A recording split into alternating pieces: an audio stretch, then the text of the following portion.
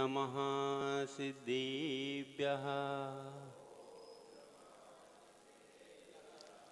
आदिम तीर्थंकर प्रभु आदिनाथ मुनिनाथ आदि व्याधि यद मद मिटे तुम पद में मम्मात व्यस्त का होता अर्थ है दयामयी सुविधर्म ब्रस तुम भरपूर हो ब्रस मिटते कल दीनों के दुर्दिन मिटे, तुम दिन कर को देख। सोया जीवन जागता, मिटता अग अविवेक।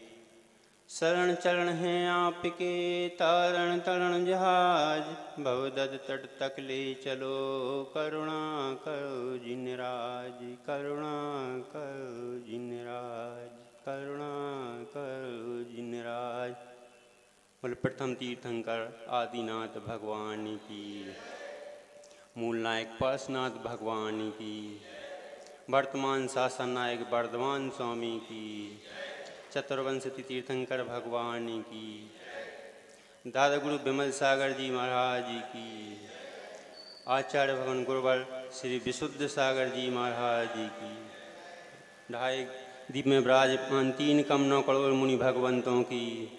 बोले परम पूज मुनि श्री एक सौ आठ निवृत्त सागर जी महाराज जी की जय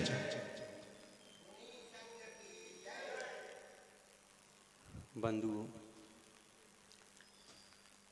पुण्य और पाप चल रहा है। पुण्य कब होगा? जब संयम धारण करेंगे, कुछ संयम पुण्य करके आएँगे, जब संयम धारण करेंगे, उससे पुण्य की अपने को प्राप्ति होगी। और अगर अपन संयम भी धारण नहीं करेंगे, कुछ भी नहीं करेंगे तो यह संसार में प्याज की भांति है। जिस प्रकार प्याज में छिलका होता है, एक छिलका निकालो और दूसरा फिर तैयार हो जाता है, ऐसा करते जाओ करते जाओ, पूरी प्याज नष्ट हो जाती है। लेकिन कुछ उससे हासिल होता नहीं ठीक संसार भी इसी प्रकार है। हम अपना जीवन निकालते जाते हैं, निकालते जाते हैं, आशाओं में फंसे रहते फंसे रहते हैं कि आज हमें इस चीज़ की प्राप्ति हो जाएगी और कल उसकी प्राप्ति हो जाएगी और उसी उधेड़ में लगे रहते हैं, उसी में रुले रहते हैं और हमें प्राप्त होने वाला कुछ नहीं है। जिस प्रकार की वह प्याज का छिलका नष्ट हो जाता है, उसी प्रकार हमारा जीवन भी चला जाता है और हम सिर्फ़ सोचते रहते हैं, जोड़ते रहते हैं और संयम भी प्राप्त नहीं कर पाते। पैसा तो इतना जोड़ लेते हैं कि तिजोड़ी में भर कर रख लेते हैं, लेकिन वह तिजोड़ी सांस जाने वाली होती नहीं है। और तिजोड़ी क्या अरे जो शरीर पे वस्त्र हैं, वह भी अपने नहीं हुआ करते। और वस्त्र तो क्या अपन जो पैसे जोड़ कर रखते हैं, वो भी उससे भी अपना कफन नहीं खरीद पाते। वह कफन भी समाज वाले ला करके देते हैं बंधुओं। कहीं ऐसा अपन ने जिस दिन विचार कर लिया, उस दिन अपन संयम को प्राप्त कर लेंगे, संयम धारण कर लेंगे। संयम में रहना अच्छा है असंयमी की अपेक्षा से। अगर असंयमी से नरक मिलता है तो संयम से देवपद प्राप्त हो सकता है। तो क्यों ना अपन देवपद को प्राप्त कर लें? ऐसा नहीं सोचना कि मोक्ष तो है नहीं, अब क्या करेंगे? क्या आप दुकान पर बैठते हैं? पहले ही दिन सोच लिया करते हैं कि आज एक हज़ार का बेनिफिट हो जाएगा, फ़ायदा हो जाएगा, लाभ हो जाएगा। अगर ऐसा अगर आप सोचते हैं तो दुकान पे नहीं जा सकते।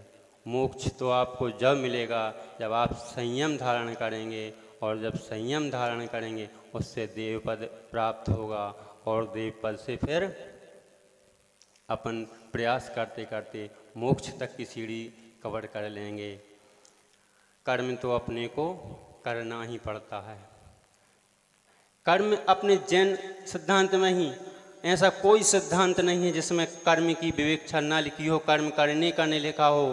कर्म तो हर जगह, चाहे वो वैष्णव धर्म हो, कोई सा भी धर्म हो, सब में वैष्णव धर्म में तो रामायण में लिखा है, कर्म प्रधान, कर्म विश्व राखा कर्म प्रधान, कर विश्व राखा जो जस करें, सो सल, फल फल चाखा, जो तस फल चाखा, जैसा कर्म करोगे, वैसा फल तो आपको मिलना ही पड़ेगा और भोगना ही पड़ेगा तो क्यों ना हम अच्छे कर्म करें और उस फल की इच्छा कर, करें। ऐसा लोग सोचते हैं कि हमने तो कर्म ऐसा किया नहीं है। बहुत से लोग संयम तो धारण कर लेते हैं व्रत ले लेते हैं लेकिन उनका मान नहीं जाता। अगर व्रती और बन गए फिर तो और ज़्यादा। अगर किसी ने चौके में बोल दिया भैया थोड़ा सा ऐसा कर लो तो मेरे को क्या समझ में कम आता है? तो ये है, संयम छूटा नहीं आपका। संयम तो क्रोध कम कर देने के उपाय हैं, मान कम करने का उपाय है, जिस प्रकार की।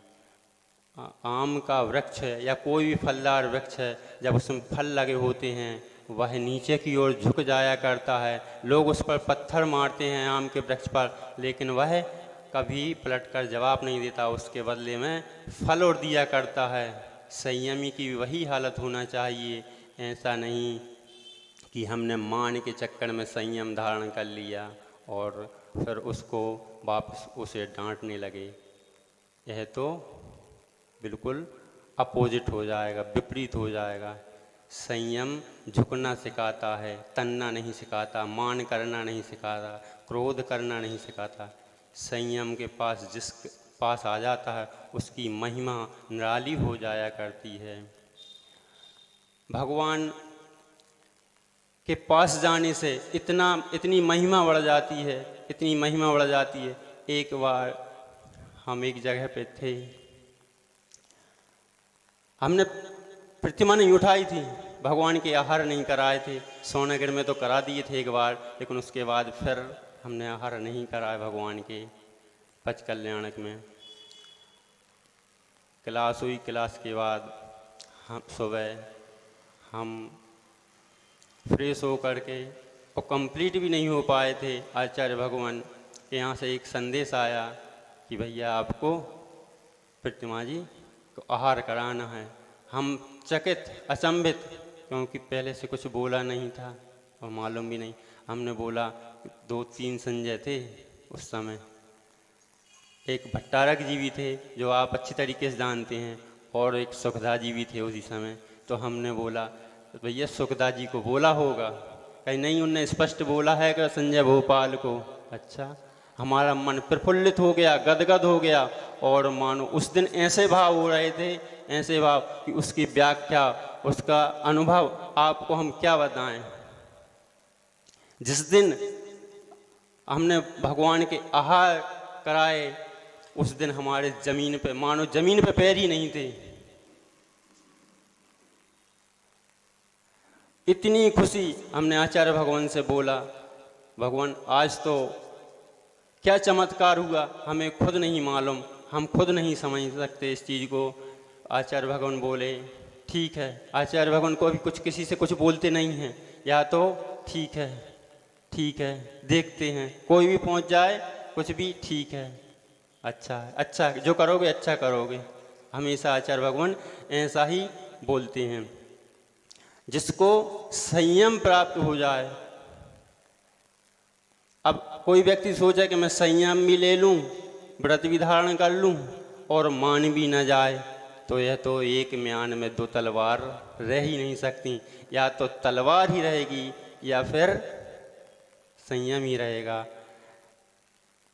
ऐसे ही जिस दिन अपन संयम लेकर मान को छोड़ देंगे और मान को छोड़ करके अपनी आत्मा में रमण करने लगेंगे, उस दिन मानना, उस दिन समझना कि हाँ हमने सच में संयम धारण किया है। अगर किसी व्यक्ति को प्यास लगी है, बहुत से व्यक्ति तालाब में जाते हैं और गंदा पानी पी करके आ जाते हैं। और एक व्यक्ति और है, उसको भी बहुत ज़ोर से प्यास लगी है, लेकिन स्वच्छ जल मिल नहीं रहा। क्या करें? पानी तो पीना है। तो पानी तो पी सकते हो, लेकिन निर्मली करके शुद्धिकरण करके उसको पी सकते हो।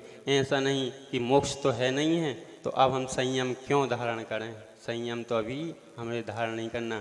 भैया, जब तक प्राण ही निकल जाएँगे, फिर संयम किसमें धारण करोगे? क्या धारण करोगे? संयम तो आप एक काम करो, जब स्वच्छ जल होगा, उससे अपने को और शुद्ध कर लेना, लेकिन गंदा जल ना पी करके, इस विषय भोगों में ना पड़ करके, नरक ना जा करके, और अपन संयम रूपी जल को धारण कर लें और पी लें, थोड़ी सी अपनी प्यास बुझा लें और निर्मल जल को फिर बाद में अपन धारण कर लेंगे। जब अपने प्राण बच जाएँगे तो हम आगे और संयम धारण कर लेंगे। जिस दिन आप संयम धारण कर लेंगे, देव पद को प्राप्त हो जाएँगे, उस दिन उधर से चल करके और अपन जो है, मोक्ष के गामी तैयार हो जाएँगे। हर व्यक्ति यह सोचता है, बोलता है, कहता है कि हमें आज तक मिला क्या संसार में? क्यों करें? क्या रखा है? हमने तो इतना पुण्य किया, तुमने आज पुण्य किया, कब किया, देखा कब? पुण्य किया था या पाप की क्रिया करने गए थे? बहुत से लोग महाराज जी को आहार देने भी जाते हैं। किसी ने अगर बोल दिया, भैया, ये चीज़ मत चलाओ अभी, या बाद में चलाना तो बौरन क्रोध आ जाता है और चौके से भी भाग जाया करते हैं बहुत से लोग। तो आपने पुण्य का बंद किया या पाप का? और जो व्यवस्थापक हैं, उन्हें भी चाहिए पड़ता है, भैया, ठीक है, आप चला रहे चला लो, कोई बात नहीं है। हमारा भाग होगा तो अच्छे होंगे, नहीं भाग होगा। आप 24 घंटा देखते रहना, सोचते रहना कुछ भी नहीं कर सकते। अगर अगर हमें, हमारे भाग में आज है ही नहीं, अंतराय है तो कोई उसे टाल ही नहीं सकता। हमें कुछ दिखेगा ही नहीं। हम अपनी ही घटना बताते हैं। हम सद, सदभाव सागर जी के साथ गए आहार कराने के लिए। हमने पूरा सोदाग्रास हमें नहीं दिखा। हमें बिल्कुल भी नहीं दिखा। जबकि ऐसे करके आप संजय भैया आपको मालूम है कि हम कैसे कराते थे, उसके बाद भी वह हमें नहीं दिखा और जैसे ही हमने, अब को उनने देख लिया? हम ऐसा कर रहे थे, उनने देख लिया और छोटा मोटा नहीं, बहुत बड़ा वाल था। देख लिया, उन्होंने ऐसा किया, हमने कहा, आपको तो लेना पड़ेगा। हमने ज़बरदस्ती, अब वो ये भी नहीं कह सकते कि नहीं, उन्होंने खोल दिया। हम कि आपको तो लेना ही पड़ेगा। और जैसे ही हमने लिया, उन्होंने दिखाया, हमने कई बता। यह स्वयं की घटना है। तो कुछ निमित्त भी होते हैं, कुछ उपादान भी होते हैं। स्वयं को दोष भी नहीं देना चाहिए और ऐसा भी नहीं सोचना चाहिए कि अगर हमारे द्वारा अंतराय आता है या हमारे द्वारा कर्मों का क्षय नहीं होता तो फिर हम आहार देने भी नहीं जाएँगे। या हम व्रत धारण नहीं करेंगे, हमारी सामर्थ्य नहीं है। सामर्थ्य तो आपकी है, बहुत सामर्थ्य है। आप छुपाए बैठे हैं। हाँ कर्म उदय में आ रहे हैं। वो अलग विषय है, वो अलग चीज़ है कि कर्म उदय में है तो हम नहीं कर सकते।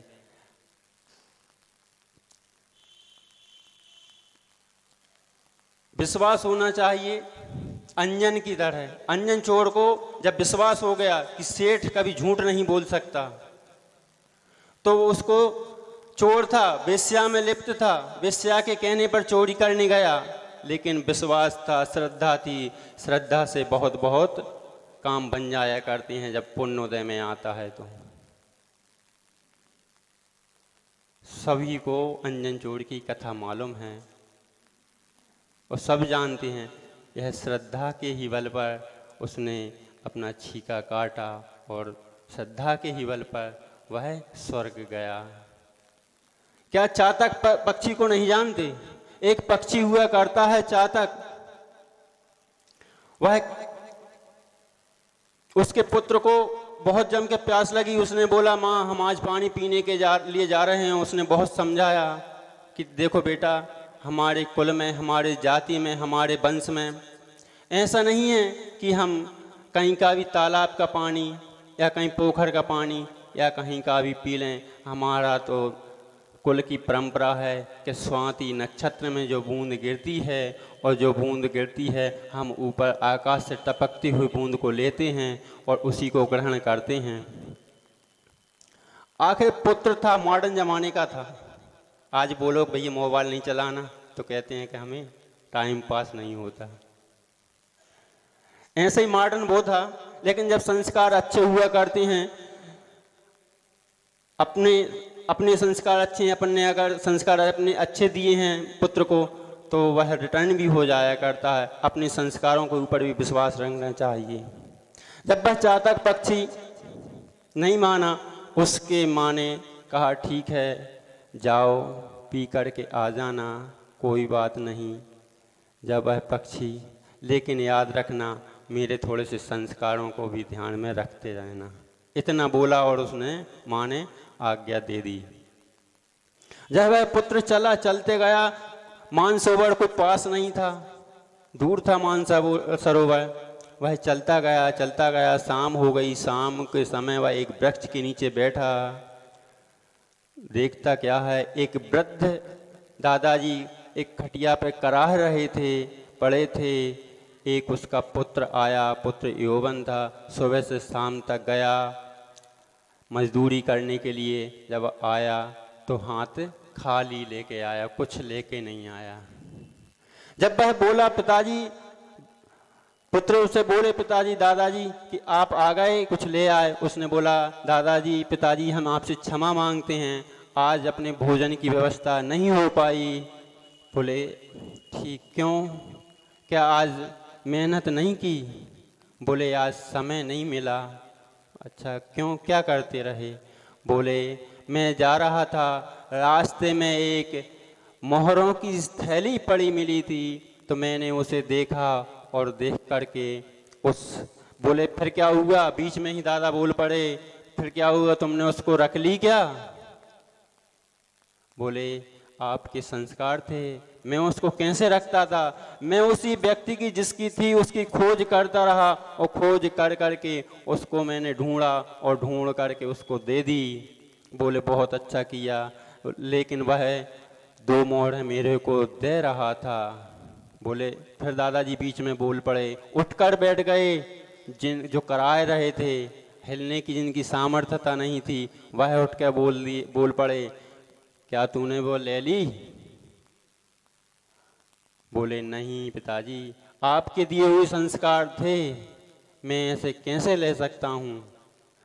मेरे को याद आ गया था कि जब चातक पक्षी अपनी स्वाति नक्षत्र में ही बूंद का पानी ग्रहण करता है तो मैं आपके दिए हुए संस्कार को कैसे भूल सकता हूँ?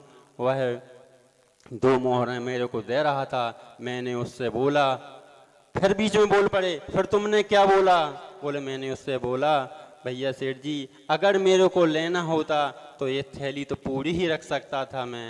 मैं दो मोड़ें क्यों लूँगा? ये तो मैंने किसी ने देखी भी नहीं थी, किसी को मालूम भी नहीं थी, आपको भी मालूम नहीं थी, और मेरे पूरे ज़िंदगी आराम से कट जाती, मैं खूब ऐसे रहता, लेकिन मेरे को ना उपहार चाहिए, ना कुछ चाहिए। मेरे दादाजी ने तो मेरे को यह संस्कार सिखाए हैं, और मैं उन्हीं संस्कार के आधार पर यह चल रहा हूँ। तब वह दादा बोले, ठीक किया पुत्र। वह दादा उठ के खड़े हो गए, वह पिताजी उठकर खड़े हो गए, खड़े होकर उस बालक की पीठ ठोंकी बोले कि बहुत अच्छा किया, कोई बात नहीं है, हम भूखे तो रह लेंगे। एक दिन भूखे रहने में क्या हर्ज है? जब चातक पक्षी इतनी भीषण ग्रीष्म तपती दोपहरी में भी और कहीं पोखर का जल नहीं पीता, किसी नाले गंदे का जल नहीं पीता, किसी तालाब का जल नहीं पीता तो फिर हम क्या एक दिन भूखे नहीं रह सकते? यह सुन कर रहा था, वही उसी पेड़ के नीचे बैठा चातक पक्षी। इतना सुनते सुनते सुबह हो गई और वह सुबह होते ही वहाँ से उड़ गया, उड़ करके जा कर के अपनी माँ के पास पहुँचा। जबकि माँ समझ गई थी कि यह तो खाली आया है, पीकर पीकर पानी नहीं आया, क्योंकि इतनी जल्दी मानसरोवर की यात्रा हो ही नहीं सकती थी। वह पूछती है, क्या हुआ बेटा? पानी मिला? पियाए? तृप्त हो? संतुप्त हो? वह बोला, उसने पूरी घटना सुना दी और बोला कि देखो माँ, आपके दिए हुए संस्कार हैं। उन संस्कारों से मैं कैसे देख सकता हूँ? जब एक मनुष्य, पृथ्वी लोक में एक मनुष्य, हमारे कुल की, हमारे जाति की, हमारे वंश की, हमारे परंपरा की दुहाई देता है, उस वंश परंपरा को मैं कैसे लजा सकता हूँ? कैसे डुबो सकता हूँ? मैं इतना गिरा हुआ भी नहीं हूँ उस माँ के आँखों में। आँसू आ गए, गदगद हो गई। वह बोली, मेरे को अपने पालन करने में, अपने संस्कार देने पर पूरा विश्वास था। एक दिन तुम ऐसा ही करोगे, वही तो यहाँ कह रहे हैं, आप सोच रहे होंगे, कि महाराज जी क्या कर रहे हैं? ये कहानी सुना रहे हैं। वरम वृते पदम देवम, ना वृते वत नारकम, छाया तपस्तुर्भेदा प्रतिपाल यतोर महान। यह वही चल रहा था। आप सोच रहे होंगे, महाराज जी ने कहानी कहानी करते हैं और कहानी के सिवा माध्यम से ही समझा दिया करते हैं और उसमें जो कुछ भी त्रुटि हो तो आगे अपने ज्येष्ठ मुनिराज जी विराजमान हैं, उनकी